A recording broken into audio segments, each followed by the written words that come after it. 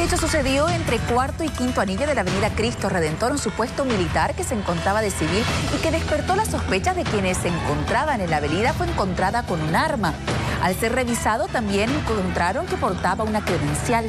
Los vecinos que acabaron llevándolo a la policía lo increparon, pero este se negó a responder a sus preguntas, entre ellas cuál era el objetivo de su presencia en este lugar.